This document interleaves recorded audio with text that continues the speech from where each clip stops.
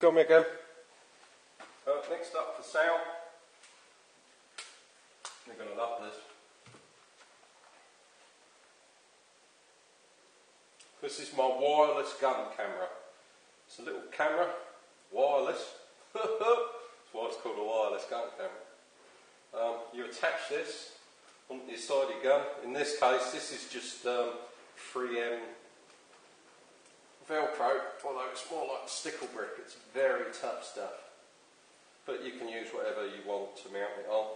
Camera on the side of your gun. You have a little screen. Wherever I point the gun, I can see on the screen. So I can stick it over the top of bunkers. I can point it round corners. And the uh, cool thing to boot is that it's also infrared. Okay, wherever I point the gun. Like that. Lovely stuff. Cheers boys.